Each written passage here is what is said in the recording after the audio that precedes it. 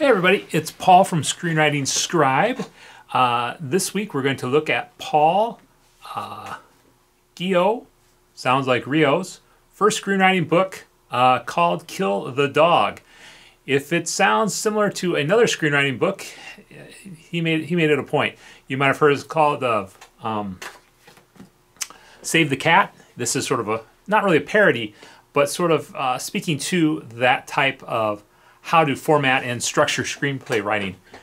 Now, if the name uh, Paul Guyot sounds familiar, it should be because he's been working in Hollywood for the last 24 years as a screenwriter.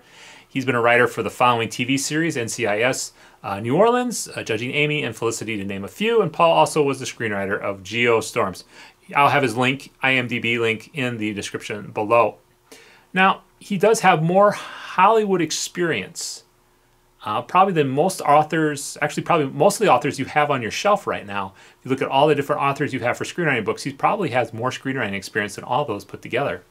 And this last point is one of the main reasons that Paul wrote this book. And to quote from Paul's book, he writes, It breaks my heart when I hear newer screenwriters who are willing to put in the time and effort become so depressed because they don't understand why their careers are going nowhere when they're doing everything the books and the gurus are telling them to do. I have no respect, and nor should you, for any book, website, podcast, or social media account doling out screenwriting advice if it's not from a working professional screenwriter. He then goes on to make the comparison that if you want to play golf professionally, you should seek out a professional and nobody else because they're the only ones who can get you where you want to go. And Paul, Paul disagrees with you. uh, and I have a couple different reasons. The first one is just because you're a pro doesn't mean you're good at teaching. Uh, I've had a lot of experiences uh, in athletics as well as in education where the pro was the one who was teaching and they don't know how to teach. Just because you're good at what you do doesn't necessarily mean that you're good at telling other people how to do it or helping other people get results. So, so there is that. Two, people with different skill levels can still teach us. Uh, I think that to me is the bigger one and why I have a little pushback. And, and I will freely admit I have I have a dog in the fight for this because I've been uh, I have a screenwriting channel. I'm not a professional screenwriter. I never pretend to be. Uh, and but is there different things I can do to help people? Yes. Uh, and so I don't claim I don't, as you know on my channel, I don't have any screenwriting courses. Uh, I don't offer any products or services. I had kicked that around for a while, but at the end of the day, I was like, well, I really don't know enough in order to do that for other folks, so I don't. But what I do know screenwriting software. You know, I, I do that all the time and I give that out for free. Um, so, like I said, there's certain things that uh, I know, and that you know, if people are, are are newer to screenwriting, that they can learn from me, and then once they've exhausted what I can do, they move on to somebody else. I think that's a natural part of, of teaching, um, and that's how I view stuff a little differently than what Paul does. And three, uh, Paul is a product of the Hollywood system. And so what he's saying here works well for the Hollywood system, but maybe you don't want to do Hollywood system. Paul also does a lot of television writing. Uh, for me, I'm more interested in movie writing. Uh, and so he's got some great stuff for TV, and I think a lot of his stuff applies from the small screen to the big screen.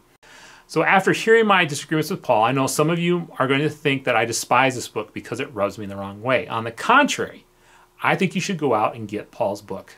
And there's three reasons why I think you should. One, it's honest. Two, it really Paul really goes about what counts in terms of writing. And three, his method of writing I think is really uh, helpful. So let's look at it in terms of honesty. Now, I found Paul's writing very refreshing in that he talks about the hard times he had in his screenwriting career and not just the home runs. Uh, his tales from Felicity, I think, should be required reading for all new screenwriters.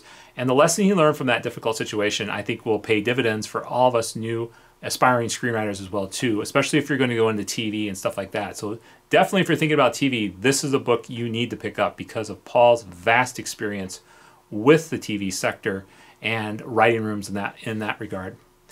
Uh, Paul, also, Paul also does a great job of bringing writers back to what's really important, which is your voice. Not what I'm talking with, but with your writing voice. So you might be asking yourself, what is your voice as a writer?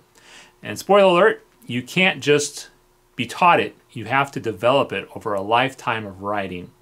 Now, this is the frustrating thing about writing, which is why I think there's a bunch of gurus out there. People want to hack for finding their voice, and I and they think it's through structure, and it's really not.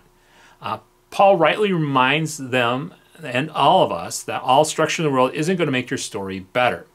Writing is the only way you can find your voice. And at the end of the day, no matter what format or structure people have, and even in the video I posted not too long ago talking about uh, how to craft a Law and Order episode, I, I reminded people that you can follow the format, but the most important thing is story.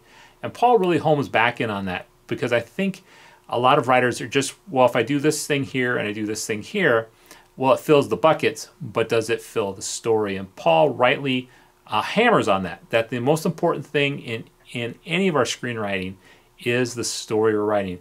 Are we going to have people have an emotional feeling after they read our screenplay? And that's what Paul really goes after. And I think that's really helpful for people that people need to understand that we need to have to give an emotional response to the reader of our screenplay. And finally, Paul shows what works for him.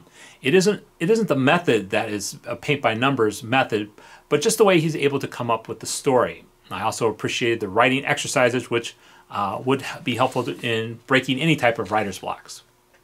So, Kill the Dog isn't your dad or mom's screenwriting book. It's a refreshing look at how to write a screenplay and what we as screenwriters need to harness, hint, our voice, and not to be worried so much about the format or the structure. There will be a link in the description on where you can order this book, as well as his website. I've also asked Paul to come onto the program to see if he would like to talk a little bit more about the book and just his views on screenwriting in general. I hope he accepts that. If you have any questions for Paul or questions about his book, please feel free to leave them in the comment section below. And until the next video, live well and write well.